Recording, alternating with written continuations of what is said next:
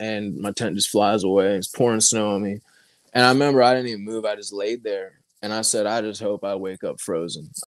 I'm Keilah J, and welcome to Keilah J TV. Whether you're my OG subscriber or my newbie, we are all a family here. So sit back, share this with a friend, and let's get into the episode.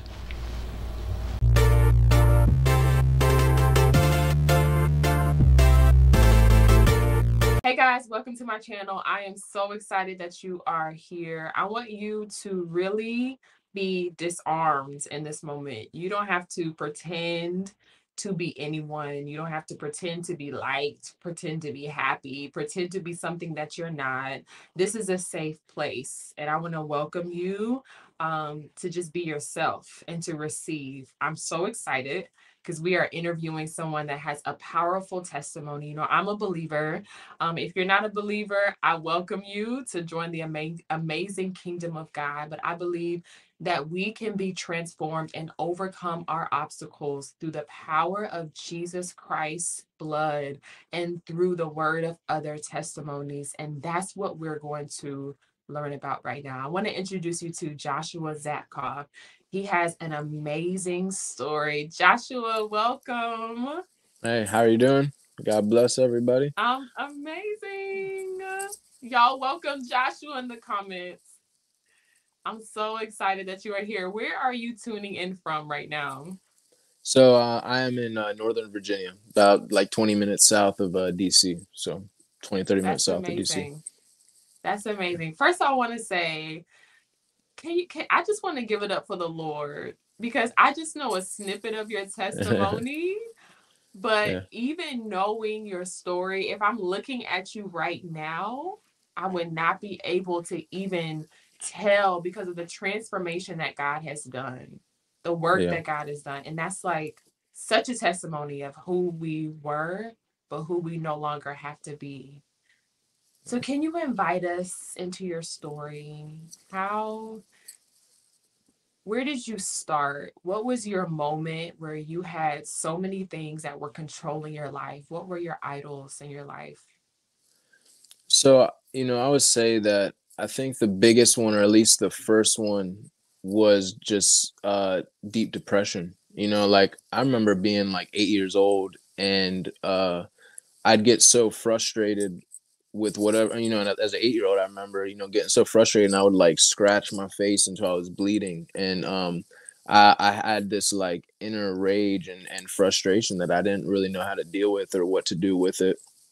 And uh i don't think my parents even knew what to do with it um and so that kind of was the first thing that kind of crept into my life. And you know looking back it's like it was just kind of there and, and no one really knew what to do with it so it just kind of got ignored. Um around the time I was 12 years old, I started feeling real despondent. You know, I started uh, being aware of it, not knowing that it was depression or not knowing exactly what the name was for it. I just started noticing that uh, life started to feel real dry. You know, like life started to, I started to feel separated from the world. Um, I, I lost my like excitement for life and that like innocence that a child would have and and um I, I started like just contemplating like i think the meaning of life like my purpose you know like i started contemplating that stuff and getting real depressed about like feeling like life was kind of like what was the point uh, of it. And you know at the time i had a good life. It wasn't like i had a, a rough you know childhood in that sense. You know there was you know obviously it wasn't perfect but um overall it's definitely good. Um and uh so that was the first thing that really popped up in my life was just this this anger and frustration and self-harm and uh and depression started popping up. And so around the same time you know as a child i was really like i was just kind of like wild you know like i always wanted to be doing something that my my friends weren't doing and pushing the envelope kind of thing. And so um i heard about weed from one of my friends that had like older cousins. And so and he had mentioned that before we before we go into that, I would love to ask you where do you think those feelings came from when you were experiencing that as a child? What do you think that was? Do you did you feel any type of way? Um, where did that depression? Do you know where it was really rooted from?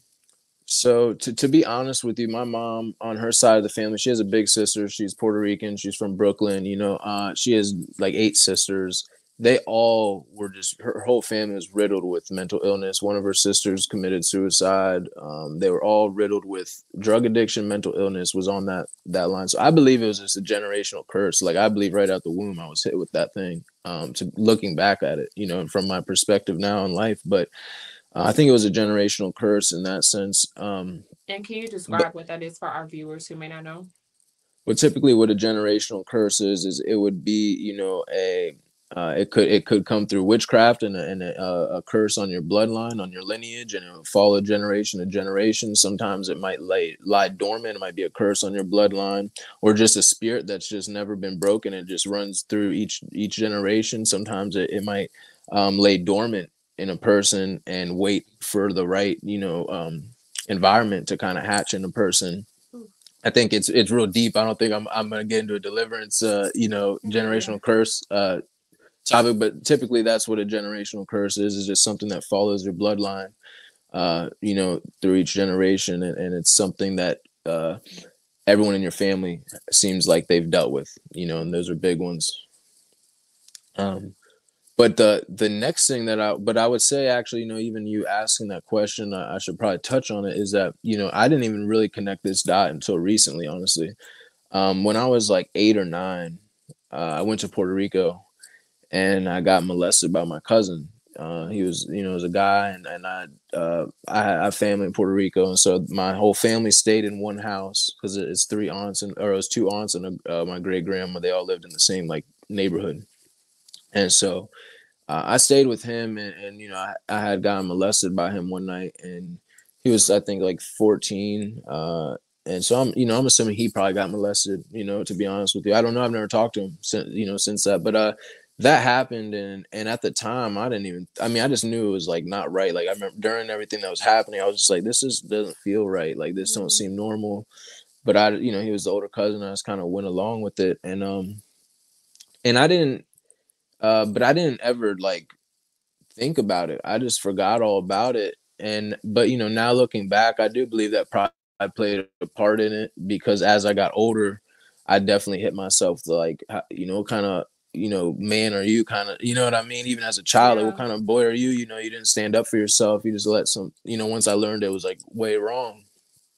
So I think that might have played a role in it. Now looking back, back then I would have never thought that. Um, but I'm sure it affected me more than I was aware of, you know.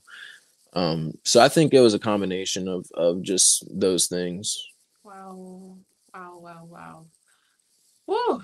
So how did they begin to manifest? Like in your older years, how did they begin to grow? You know, because as a child, you said that you were scratching, you were hurting yourself, you were manipulating yourself as you grew older, what did that manifest as? I think in around like middle school. So like, you know, 12, 13, 11, 12, 13, 14, it, it, it started manifest. I think honestly it manifested a lot with just being real, uh, like being real reckless, you know, like doing stupid stunts to hurt myself almost to get people's attention. You know what I mean? Like, um, you know, like going swimming in an ice cold pond just because no one else would do it. And I'll be, you know, like stuff like that. I think just yeah. getting a, attention in that in that sense.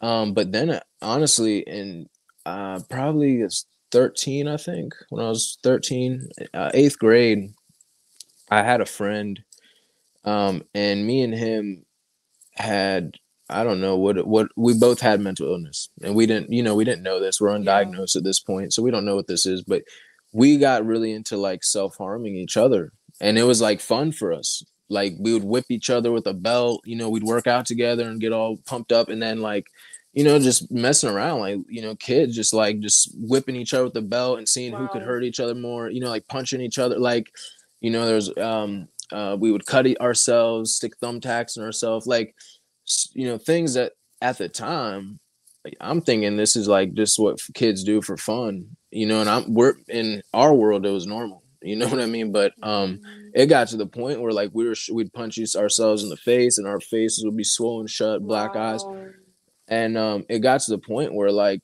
teachers started getting concerned, like thinking we're getting beat at home, and then you know, finding out we're doing it to ourselves just made it even more like you know these kids are, are nuts. Um, and so that's how it started really to manifest was I started to get like a pleasure out of harming myself. Yeah. Um, but again, I had no correlation between the two. To me, I was just, you know, that was normal. Did you have a correlation to the pain? Did you feel some type of pain or or emptiness, sadness that was causing i mean of course we know that it was related spiritually to this you know mental illness generational curse but emotionally did did it connect with you at all? No i don't think at the time. I think at the time i, I knew i had like something was wrong with me but i didn't know what it was it was just there was some type of uh, like let's say i got frustrated yeah um, about something I all I knew is that like if I if I cut myself, I felt better. You know, if I if if I took it out on myself, I just felt like I would feel better, and that's all I knew. And it just kind of it, it kind of fed that. And I don't know that I ever correlated a, a, an emotional, you know, response to it. To be honest with you. Wow. Whew. So how growing up, um, going into high school, middle school. So you're harming yourself. It's rooted in this mental illness. You have no idea that it's a mental illness. Were you diagnosed at all in school um, in any type of way? And how did this continue to manifest in other ways that were harmful? Yeah, so it, it got to the point. Um, I'm not. I won't get into now. I'm sure you want to get into it later a little bit, but at uh, at this point, by the time I was 14 in high and freshman in high school, uh, I had you know drugs were a big part of my life already. Uh, that started at, at, at, you know 12, and but at, um, drugs were a big part of my life. And at that point, my mom and my dad had started really noticing things. Like I, you know, they started knowing what was going on, and they start it started being real. They started being aware of it, and so at that point, my um, mom and dad took me to a psychiatrist or you know this it was like a very like in-depth uh to to diagnose me type of thing i had gone to a couple of therapists before but it didn't really like avail anything but i went to this this psychiatrist and it was like this all day testing and so he diagnosed me with ADD bipolar and uh, manic depression wow. so he just hit me across you know it's like now you have all these problems and so what happened was you know they tried to give me all this medication and uh I didn't like it at all. You know, it, it just numbed me out. I felt like a zombie. It made me, it made it worse in my opinion, because w- when I wasn't on meds, to me, it was like, I had really good days and, and you know, I have a couple weeks where I was just real, you know, up. And then it was like, I'd be, you know, real depressed and, and suicidal at that point. I wasn't really acting on anything. Um, but it kind of, I think what really, where it, it started tipping was the first uh like real relationship I got into when I was mm-hmm. uh when I was a sophomore. Or let me actually let me let me backtrack a little bit and sure. I went when I was um when I was a sophomore, I had gone to a rehab program and it was it was a year long um, program away from my family and everything. You know, I was in Utah, so I was 15 years old, and uh, the combination of I think being out there on my own put me in this like it's it's me against the world type of mentality. Like I mean, I was I was I was in the desert. It, you know, it was like negative thirty with the wind chill. Uh, I had to build my own, you know, shelter. You know, I remember I remember the very first night I was there, or the first week I was there. They kind of train you. They teach you enough to like so you know how to make you to make a fire with a bow drill. Like they teach you how to survive. And the first night I was on my own. I mean, I was with a group, but you're on your own to do everything they have a counselor to make sure no one dies essentially and you know but um, as this like 15 year old kid i remember being out in the middle of the, in the moab desert and like you know all the snow i'm freezing cold i'm like man this is you're you're out here on your own and i remember i made my little tent or whatever the first night and we had 50 mile per hour winds and they're telling me like this is the worst storm we've had in years you know and it's my first week there and my tent just blew away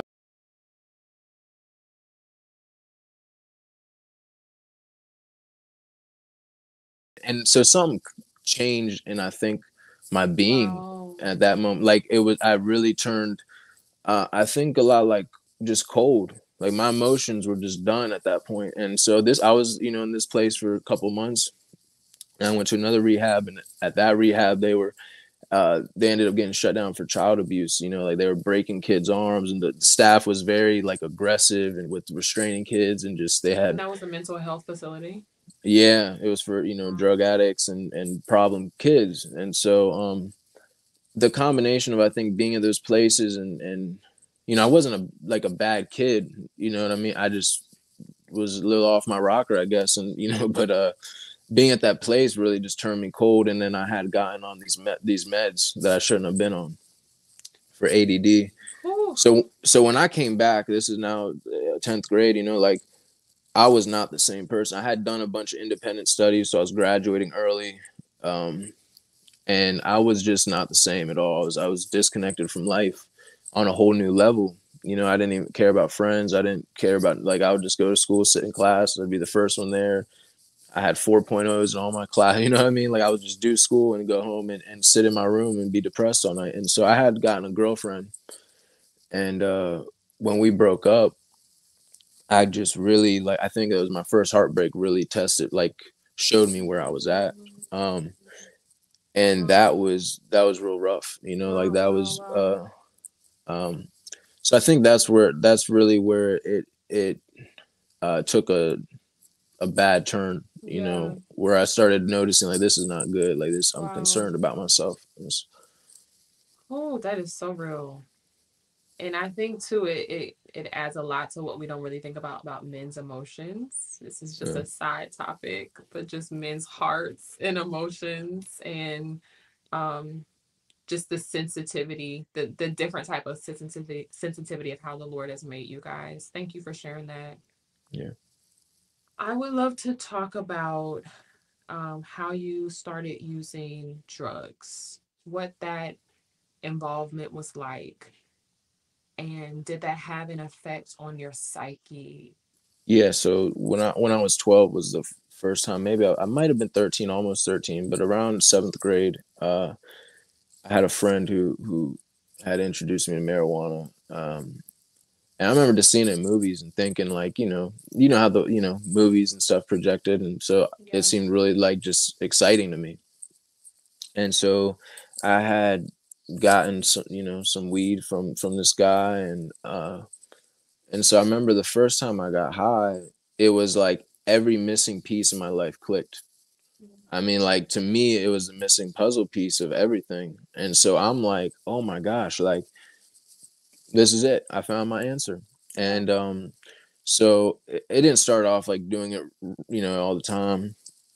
Think it was like every couple months, and but by the time an eighth grade summer rolled around, the end of eighth grade, I was smoking every day, and so weed to me was like the, the answer for everything, and so I just wanted to be high all the time, and, and uh, it didn't you know cause any problems in my life, and I felt happy and all that, and so I was just self medicating. Once my family found out about it, um, it, it definitely became, you know, more of an issue because, like I said, my mom has a background with addiction. My dad side of the family has an uh, issue with alcohol, and so they're they're like going off like, oh no, we need to stop this, you know, before it gets out of control like them. So in my mind, it's like I'm just a normal kid smoking weed, like this what everyone was doing, you know, in high school and stuff. And so in my mind, it wasn't really a problem. Um, but then uh, what what happened is I think it probably made the the mental illness worse looking back because for me it was like all right if I'm not smoking weed I'm I'm I'm off my rocker but if I'm if I smoke weed I'm good I'm chill. It's dependency right and so my but my mom's trying to like shut this down trying to ground me so now I'm like rebelling or rebelling you know what I mean? Now I'm running away now I'm bucking you know what I mean and and doing whatever like I didn't really care about the consequences like um, but once I got 16, I got I got put on probation, and so I got a um, charge and was put on probation. And and what happened was, I basically told my PO like I'm not stopping. I don't care. Like, and so she would she I had the I had a really great PO. I'm actually still in contact with her to this day. You know, on Facebook and Instagram, we're friends wow. and whatever. And um, she was really cool. You know, and she cared about me, and she I remember like she would do everything not to lock me up. She'd be like, Josh, like I'm I'm sorry, this is like your sixth dirty urine. I gotta lock you up. You know, I'm I'm sure now looking back, her you know her higher ups were coming down on her like, but I just I just go to jail, and it was like for from 16 to 18, it was like go to jail, come home for two months, go to jail for a month, come back. You know, it was just this. I did, and so use. for failing drug tests, yeah, and um, and so eventually, what happened was when I was 16, I was like, all right, I can't keep smoking.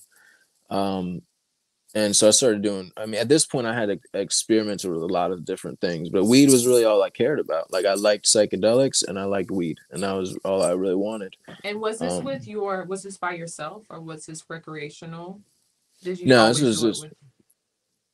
Yeah, it was recreational, but it was also by myself. I mean, it was that that that was my whole agenda in life. You know, like my my whole life at that point was go to school, get high before school, uh, get high after school, and that was it. Like that was all I lived for, really. Uh, I played sports as well, but um, okay.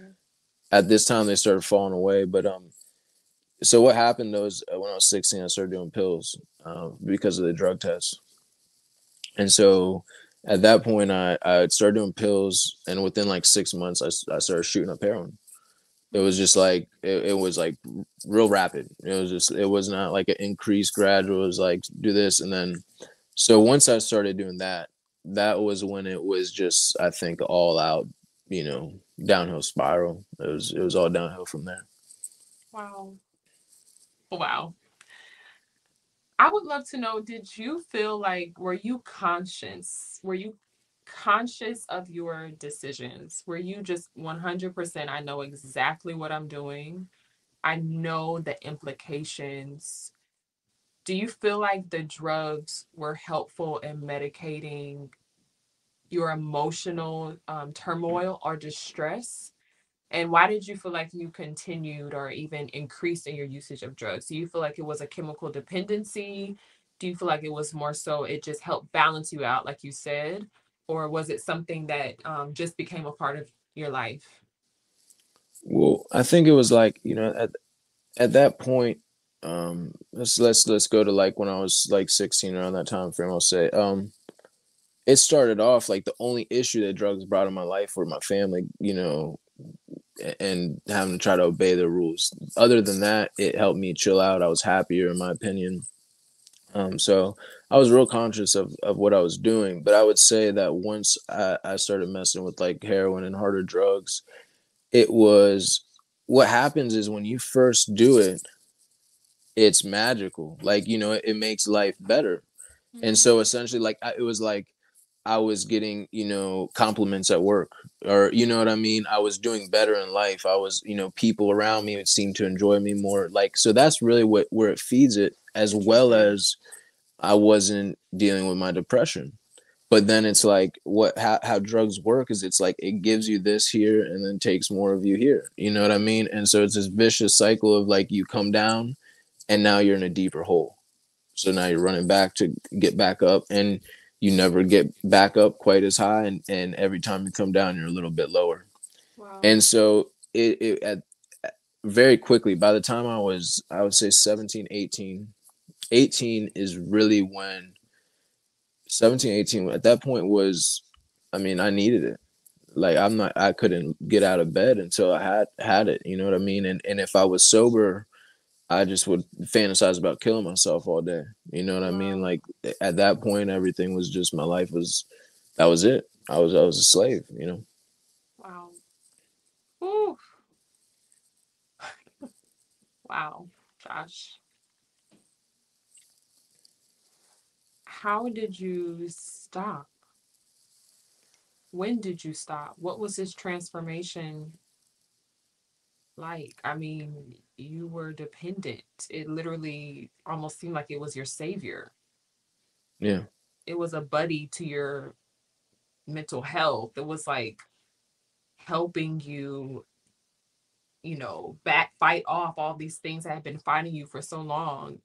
Why I mean, in that case, it, it, seems like it's such a good thing. It seems like the drugs were almost like a pro. Um, yeah. But we are speaking of mental health here, and I would love to know how you began to get off this journey of this addiction. because one, it was spiritual, it was generational, it's chemical dependency, it was an emotional dependency. How did you end this cycle? So, so I think you know, obviously, it catches up to you. You know, obviously, it brings a lot of things in your life you never thought it would, things you didn't ask for, um, legal trouble, financial trouble, relation. I mean, just all across the board. It's you know, it it it catches up with you, and and your life starts going downhill real quick. And so, it wasn't. I knew that that my time was running out. Like I knew I couldn't do it forever. And so, I think the first thing that really got me was I got a distribution charge in 2014, and so I got locked up for a year and a half. Um, when that happened, heroin. Yeah, I was. I basically had middleman stuff to a girl that I was, you know, kind of messing around with, and and she overdosed. And but because I'm there, I I I call the ambulance and do CPR and all that, and they come. But when she wakes up, you know, the police, I'm assuming, probably scared her. Like this stuff's here. You know, you're you're going, and she told on me, and so I got you know the charge uh, for it, and um, and so when that hit me, I had just at this point I had a, a you know two year old daughter or you know three year old daughter, and um, uh, I was going to school for massage therapy, and I had just graduated. Like three days prior or three days after that charge, I was graduating. I already had my certificate. So to me, it was a real big blow because I'm like, man, I'm here trying to change my life. I was still in addiction, but I think the first thing I did was I started transitioning to everything to doctors. Um, so it wasn't any better, but I felt better because now I could say I have a prescription. You know what I mean? So like I was on, I was prescribed Xanax, and I was prescribed Suboxone. So I wasn't really doing heroin as much, but I was on, I was still addicted to the Suboxone and the Xanax, and I was still messing around with other drugs. You know, but that was when I started transitioning to trying to fight it, you know, because at, at that point was when I was like, once I had my daughter, it was like, you know, I remember I, I was like, I'm not getting high ever again once I, f- I found out I was having, you know, my daughter. And I, you know, I ended up getting high in the hospital room the night she was born. You know what I mean? Like that's how bound I was that like I was like, I'm not doing this ever again. An hour later, I'm in there doing it, you know. Mm. So uh, um that was a transition. When I got sat down for a year and a half, it really makes you think. Um, and I remember being in in one of the facilities. Uh, by I was over by Richmond, Virginia, and uh, there was you know there was heroin in, in the the pod I was in, and I remember being like, Josh, you can't keep it together in here. Like, you don't got a shot out there. And so I stayed clean that whole time. Wow.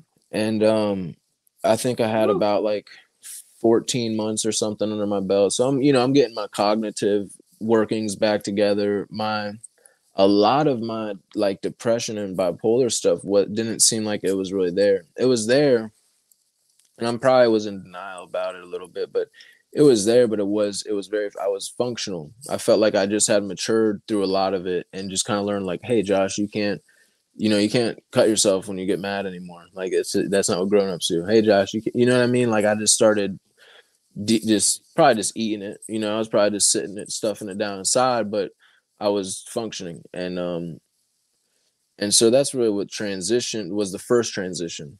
Um but I, that wasn't really the the the full transition. I think uh I think it was probably a couple years down the road you know and I want to talk I want to ask you because you mentioned cutting yourself. Can you share a little bit about that? Um I know that you do also have some a history of um, a suicide attempt. Yeah. When did this happen and how did that affect your life? So, uh, um, you know, the cutting, I think it started off as like, just let me see how knife, sharp this knife is. And um, it wasn't reckless behavior. Yeah, it wasn't even like, oh, I'm, I, I'm, I hate my life. It wasn't like that. It was like, I wonder, is this razor this sharp? And I just kind of just sliced, and I saw how, how easy it sliced me.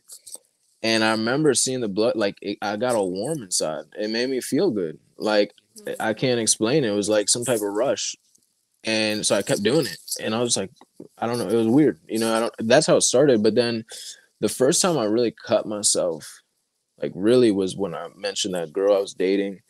Um, and we went through this breakup. She, essentially, she went to college, and and when she went to college, she she just started playing with me. You know, I was still in high school back in Virginia. She's off at university, and she would like, you know, FaceTime me, video time me back whatever it was I am or whatever it was back then, and and she would lead me on in certain ways and then the next day be like why are you calling me i told you i don't you know what i mean like and so she did this with she just was messing with my and head like with, yeah mess with your mind it was uh, yeah it was real crazy and so i remember when like one night she basically just told me like you know some mean things and i said i'm done i was on house arrest at the time and so you know i'm, I'm like i'm locked in my little house i couldn't do nothing this girl's i'm thinking about her doing crazy things and you know yeah. And I said, I'm done. Like, I'm leaving. So I, I was like, I'm I'm gone. Like I don't, and so I just I like poked it in and I just pulled it as hard as I could. And I didn't I didn't think I was so caught up in my emotions and I just jerked it. And what happened was I looked and my wrist was split wide open. And I was like, oh my gosh and I went and I got my mom's sewing kit, and I like I'm I'm trying to sew my wrist back. My dad comes in, he sees blood all over his towels. He's, and I mean, and and I sewed my wrist back shut. Like I mean, it's it scared me, but then also what happened was, I wasn't afraid of it anymore, um, and and so I think that's that's I just started turning to to that, and then I think I didn't want people to see it. I was embarrassed of that um, so really, and then I started turning to like punch. I would punch myself in the face, and that was, you know what I mean. That was kind of, you know, and I know that the the focus is mental illness, and so you know, I, I definitely don't mind going in into into that for you know whoever's watching. I would, you know. I want you to go back and to um, your suicide attempt because now we see you, but we did not see you then. What was going through your mind? and how in the world did you bring yourself up mentally like even from a confidence place or did you in 2012 i had just had my daughter she was a year old um i was my my you know my heroin addiction was at an all-time low. This 2012 2013 was probably the most reckless times of my life. Like where i just had no conscience. Like i was trying to die you know? And um and so 2012 i had just lost one of my, my childhood best friends in 2010 2011 and um so he had just died and uh, the year before and i'm going through uh the my daughter's mom she's like openly cheating on me and my self-esteem was so low that i was just letting it ha- like i was still just letting her live with me and knowing she'd be off doing this and i would just I would feel lucky just to have someone come back to me. You know what I mean? And so my self esteem was thrashed. Um, I didn't. I wasn't working. I was. I was taking care of my daughter though. I mean, I wasn't doing a great job probably, but I was there. You know what I mean? Like I, she was, I took care of her every day, and you know, I'd, I'd, I'd probably be high, I'd take her around to sell drugs with me, and you know what I mean? It was, it was bad, but I was, I, I was raised her. You know, I was, I was there, and um, yeah, and um, and so I remember this one specific night, um, my child's mom was supposed to like come. She was going out with this guy, and I was like, "Can you just hang out with me for one night?" Like, you know what I mean? And and she basically was like, "I'll come, I'll come back after." And, and I was like, "All right, I'm gonna go get some wine, and, and we're gonna have like a movie night." And you know, in like my mind, I wanted to have this special night, and and so I remember like she she faked on me, and so I was sitting there and I was I just started drinking all the liquor I had got for you know us to to drink together and, and um, my daughter was I think at her dad's or something she wasn't there um, and uh, I remember just thinking about my life and where I lived was like it was this it was this real nice house a, a Civil War like old house on the battlefield and it was like on you know this house and then it had um, to the right of it it had this little like cliff or it was like a, bank, a bank, bank hill, and then on the front of it, it had a like sharp cliff drop off, and it had a little stream that went around, and um, and so I was just sitting on the deck, and I was just thinking about my life, um, and I'm thinking about my friends dead, all these friends I know are dying. I'm just running my life through my head, uh, you know, and I'm like, you know, I'm 19 at the time, and 19, 20, and I'm like, you know, there was no emotion. Like I, I, think I was a little upset, but it was like a very cold decision where I just looked over at the the, the balcony or the the drop off, and I said, "Yeah, I think I'm done." You know what I mean? Like I said, I, like what what why would I want to be here anymore? Like everything's just sucked my whole life. You know, I I can't get happy. I can't, you know, I can't do nothing right. Like I just, you know, I was just done. I just, you know what I mean? I I didn't want to die, but I just didn't feel like I could live, you know. And so I, I basically went inside, and I, at this point, my mind had been switched off of thinking. And so I just went inside and I grabbed a microphone cord and I walked over to the cliff and I tied it around the fence. And it was probably like a 20, 25 foot drop off. And then it was like two feet of water. And I walked over the side and I said, like, I got this confidence about it where I was like, I'm not backing out now. I said, I said, all right, I'm doing it. And I just, I just stepped off like it was a porch or something, you know, and, and I just stepped off and then it, it I fell and the the rope caught, you know, and once it pulled, I remember being like, "This was not a good idea," and it was like, "Oh, this is real," and like, what are you gonna do? And um, and next thing I know, I was unconscious. I get, you know, I go out, and so the next thing that happened was, I felt like I was in a dream, and in the dream, I felt like I was in water and I felt like I couldn't breathe. And I'm I have no idea what I just did. Like in my mind, I, I wasn't conscious of what happened uh, in my mind, I felt like, well, this is weird. I've never had a dream where I couldn't breathe before, and I was struggling, and I knew what was going on. Oh my gosh. And then all of a sudden, I saw like this little light just start coming towards me, and it didn't get too close, but I just saw it grab my attention, and it started coming closer to me, and then got me like 15 feet away from me, and all of a sudden I just felt this the knot around my neck just like pop open. Jesus. And I just I just popped my head up and it all hit me. Like, oh my gosh, did you this really just happened? And you know, I wasn't like drunk. I was I was tipsy, but I wasn't like drunk drunk, you know, like I was still very uh, aware. And so I popped my head up. It's the middle of winter, there's snow on the ground, it's December. And I'm in, you know, a little puddle of water and I'm just freezing cold and I'm like, oh my gosh. And I climb up the side of the little ditch or whatever. And like what freaked me out was that I go to the the the fence, the cord is still tied to the fence. Jeez.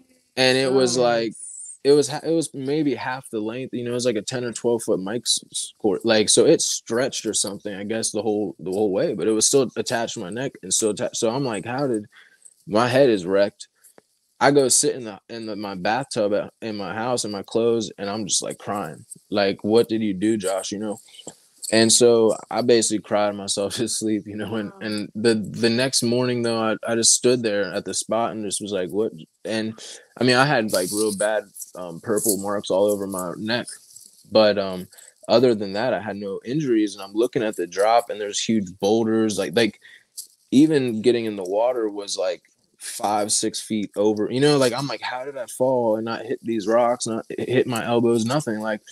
And um, and I remember at that point I knew that I was here for a purpose, and so I, that's one thing I definitely want to tell people. Anyone dealing with suicidal stuff, it's like it is so not worth it. Like there is, you will not gain one thing from it. It will not serve you anything. You are here for a reason. And so I knew at that point, I'm here for a reason something like something cared about me because something saved me and that's all i knew and you know i was so far from jesus at that point but i knew there was a god and so at that point i never thought about suicide in a serious way ever all these plans and future things flowing through my head and goals and hope and stuff that i wasn't used to and so i, I think what happened was uh i'm looking at like three four years of prison time my life is over i just left my three year old daughter you know like in my mind, my situation's terrible.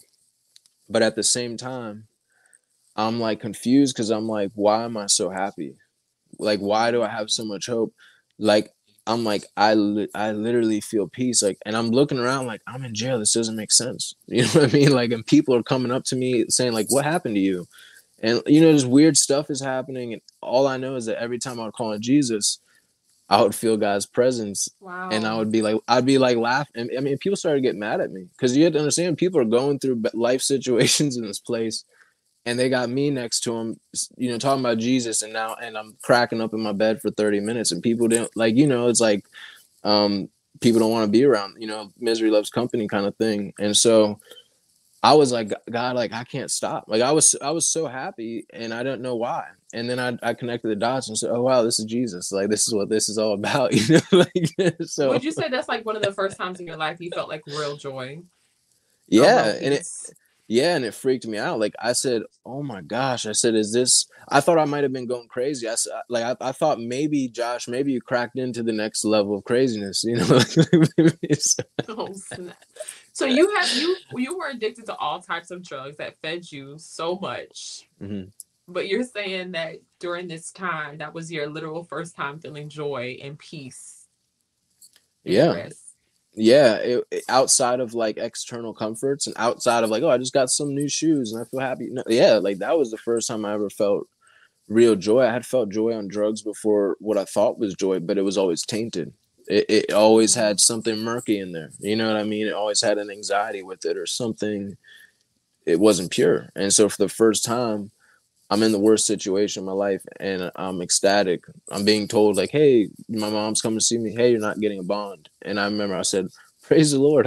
you know, like and so yeah, it was it was weird. It was it was uncomfortable and I but I couldn't help it. I it just kept coming and and you know, I just kept getting filled with it. I just want you to repeat something because you said something so pivotal that you did not know Jesus. You didn't even know the Lord there's so many people that feel like Jesus does not love them, Jesus does not care about them, um, especially with what they've done, with what they're doing, with what they want to do, uh, with what is even going on in the world.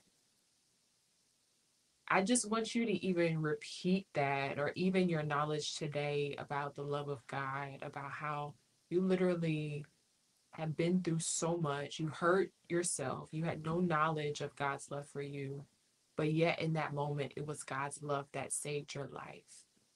It was an angel of the Lord that saved your life. And from that moment, you recognize that. Can you just touch on that? You know, something God I think showed me that that stuck out the most after I had my encounter with with you know God is is Jesus was, you know, it says in Romans 5, you know, he, he proves his love for us is that while we were yet sinners, he died for us. And so he showed me that now, like looking back at my last 15 years of my life, he was showing me where his hand was in every single thing. And I think about just the dumb amounts of times I should have been killed that I didn't. And so you talk about, you know, we're in a world where we want our love to be reciprocated. And I did this for you, you do this for me. Well, he I, I straight ignored him his existence for, you know, my whole, you know, let's just even start at 12, my whole life. But let's go from 12 when I started, you know, wilding out. Like completely ignored him as even a possibility, made fun of Christians, made fun of the idea of Jesus. And he was still there just showing up. And um, you know, the love of God is I don't think that anyone really fully understands it. I don't think that we we can. I think it. I, you know, it's the thing is is that people like to to correlate love and God's love with life going well. Mm-hmm. And I think that's what really that's where we mess up. And I've I mean I've messed up there even after knowing God. We like to think, well, I'm your son, you love me, I'm your daughter, you you know, make this right, make but it's so much deeper than that it, it, it's so much deeper than that. And i think when we we shift our perspective of god loving me in the idea of knowing believing he already did he already died for you. He he did something no one else ever could do for you. It's already done. No no nothing in return that he needs from you. But then in the other sense of looking at it as once i came to jesus because i had cried out to god many times in my life God help me here. God get me out of this. And when it happened, I didn't even say thank you. You know, I just kept moving. Uh, once I came to Jesus as I'm done, I just want you. What he showed me and what I see, I think even now, you know, I have a daughter. It's about to be one uh, tomorrow, and what what I've he's Happy shown birthday. me. Yeah, yeah, thank you. Yeah, uh, you know, he really just wants us. He just wants our heart, and and so I, I realized once I started, once you believe he's real, and like you, you don't think you're talking to the air. And I just started talking to Jesus about my day. Like I'd be, you know, not, not TMI, but I'd be, in, you know, in the bathroom, be like, "Am I allowed to talk to you here?" Like, you know, and I'd be having a conversation in the bathroom, like, you know, like. And so once that that started, he started answering me, and and I realized how intentional and how personal he was, and that's what kind of won me over. I think more than anything was like he really cares about the like tiniest things that no one even is aware of.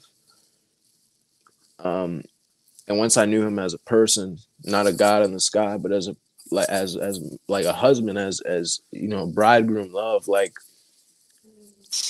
it, it, you know, I'm getting chills now. It like it it, it messes you up, you know. It, it it it changes you, and so I think for anyone watching, back to your question of like, does God love me? Like, you're here right now, you know. Like, think of it this way: if it was up to the devil, you'd be gone so something's obviously standing in the gap for you right now. Something obviously has kept you here. You know what I mean? Because if there was no God and no love, why why be here at all? You know what what so um he loves everybody, you know. the one thing that brought you pain, the lack of love that you were receiving, God literally saved your life with it, transformed your life with it. That's the love of God. I am so blessed by this story. Yeah. So blessed. I really want to have a part two, Josh. Yeah. But what I want for part two is for people's questions. I want you guys to write your questions in the comments. I want you to ask anything. As y'all can see, Josh is an open book. we we probably there's probably so many stories we did not get to even on this interview but I want you to ask questions. Um, if you do not want to comment them below, you can email them and the email address below as well. And I want to address those questions in the next video in part two. They can be about any of the topics we discuss. But I think that is so powerful and transformational when you have a living witness here of the saving power of God's power in your life from no matter where you came from. So I want to give glory to God for your life, Josh. I want to give glory for how he has transformed you, how he is lifting you up, how he is raising you up and helping you transform other people's lives. I just want to talk more about your story, but I know we have to go. I want to do that in part 2. Um, but I just want to say thank you and this was a blessing. Are there any last things that you want to say uh, just about the power of God and what you want to say to people that are still struggling with um, depression and not realizing God's love for them or mental illness or addiction or anything. You know, one one thing I'll say real quick, I think just kind of got put on my heart is, Amen. you know, uh, aimed especially towards depression. Uh, you know, actually we had, you know, spoken a little bit and I had told you about, you know, depression and how normalized it is now. And, and you know, I'm not going to sit up here and say, oh, ever since Jesus, I never got depressed ever again. I never got anxious ever again. I will say that probably 95% of my, you know, um, bipolar got removed. I don't take medicine. It's very, very uncommon in my life. I would say that probably 90% of my depression has been gone and about you know most of my anxiety if not 100% i don't really get anxious at all i still have little moments of a depression but it's very um it, it's it's not common and it doesn't last long. It, it wow. might be a couple days um and so but i would say that something god has shown me about depression and specifically depression is depression really just stems and people might not want to hear this but it's really from a selfish space. It, it, it really is from a place of look at my life. This isn't going right for me. That's not going right for me. This happened that happened if you remove yourself from the equation what could you be what would you be sad about? It's because you're looking at uh, how your life is going. And i'm not saying it's not real i'm not saying that there's not um, even the from you know a doctor's standpoint of uh, chemical imbalance. So I'm not saying that that's a complete lie, but I believe, like I said, you know, I believe that 90% of that is is our perspective and living in the past. And, and um so much of my depression issues have just completely left by just letting go of the past forgiving other people forgiving myself and noting like right now is a new moment a new day all that's gone. Everything's good right now. I got my fingers my toes you know like i'm good. Um, when i do deal with depression now i can always trace it back to me being selfish in some way feeling like i didn't get what i deserved um, feeling like you know life's not working for me. Like like there are those kind of things where I just am like, man, it's, you know, but it's it's selfish at at its root, and so I'm not un- invalidating it at all. You know, it's definitely a real thing, but um, but I would say that's one thing, God's perspective, yeah. huge huge with depression. Yeah. Wow, that's real, y'all. no, that's real. For someone yeah. who's actually uh, struggled with depression for over five years in the past, and the Lord has healed me from it. Um, thank you for your transparency. And I would say, wow, because that's that's the truth. Mm-hmm. That's honestly the truth. If we take our look off of selves and onto the the grandeur of God, the grace of God, and also how can we help be a blessing to others? Mm. Wow. Mm, that's a big one. Yeah. Yeah. Well, thank you so much, Josh. I want to honestly, I have so many more questions, y'all. I'm not gonna lie, but like I said, put your questions down below because we can have a part two with Josh, if that's okay. I would love it. Let's do it. Yeah. Yeah. I enjoy. I, I thoroughly enjoyed the conversation. Amen. I'm so excited. Thank you so much. Um, have an amazing day, everybody. I pray that it is filled with blessings. I pray that you allow yourself to be filled with the power of God, with the grace of God, and that you will glow in his light and not on your own strength. I pray that you will allow him to cover you. Yeah, like he is. He's a shield on your mind, on your heart, your spirit. He can surround you from anything that wants to come into you, that anything that wants to come and harm you, He can be your shield of protection. So we thank you, Lord, for every single person that is on this broadcast, that is watching this broadcast. I actually want to ask Josh to come back up to pray over people if you wouldn't mind um, saying a prayer. Yeah, yeah, of course. Father, I love you. I love you with all my heart, Lord. And I just thank you for everything you do for every person watching this and every soul that's, you know, uh, taking the time to listen. Lord, I just pray that your presence would touch every single person watching. Jesus, I pray that you would have mercy on our, our misunderstanding of you, that you would have grace, that you would enlarge the eyes of our heart. Father, I ask that you would reveal yourself to anybody that that has been wondering about you anybody who's had questions about you. I ask, Father, that you would just begin to remove the weeds, the lies, the deception in our minds and in our hearts. Father, I ask that you would exalt yourself in our lives. I ask that you would exalt your power in our lives. I ask that you'd glorify your name in our lives. I ask for the per- perfect peace of Christ Jesus. You say in your word, Lord, that whoever keeps his mind on you would have perfect peace. So I just ask for the perfect peace of God to come upon every single person. Any person that's dealing with depression, any person that's de- dealing with suicide or anxiety, I just pray, Father, in the name of Jesus, let every single severing thing from your will be broken right now in Jesus' name. Let every single snare, every chain, every hindrance or oppression be lifted right now in Jesus' name. And Father, I just ask that you'd bless them, that you would draw them, and that you would keep us in Jesus' name. Amen. Amen. Amen. Oh, I feel like we could be here for another five hours. Come on, Lord. Hallelujah. Y'all go follow Josh. We're gonna put his information up on the screen. Y'all, Josh's page is filled with glory. Uh, the revival is here.